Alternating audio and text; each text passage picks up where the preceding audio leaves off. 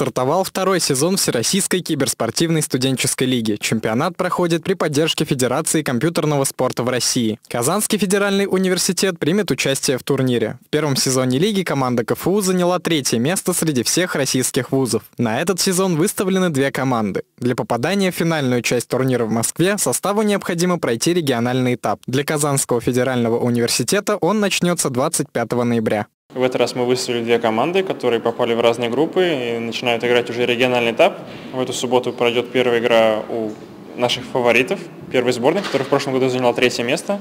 Пройдет они в Аульте, Команда по доте будет играть. Приходите болеть. Команда планирует как минимум повторить успех предыдущего года и войти в тройку лидеров. Лучшим исходом, конечно же, станет победа. Призовой фонд турнира составляет 6 миллионов рублей. Артем Тупичкин, Ленар Давлетьяров, Универньюз.